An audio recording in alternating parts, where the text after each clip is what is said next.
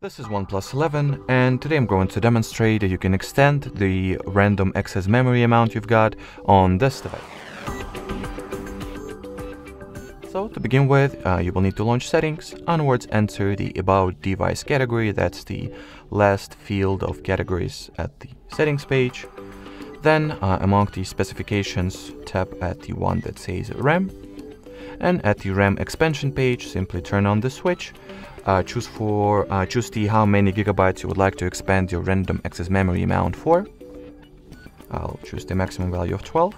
And then in order for those changes to take effect, you gotta restart your system or reboot the device.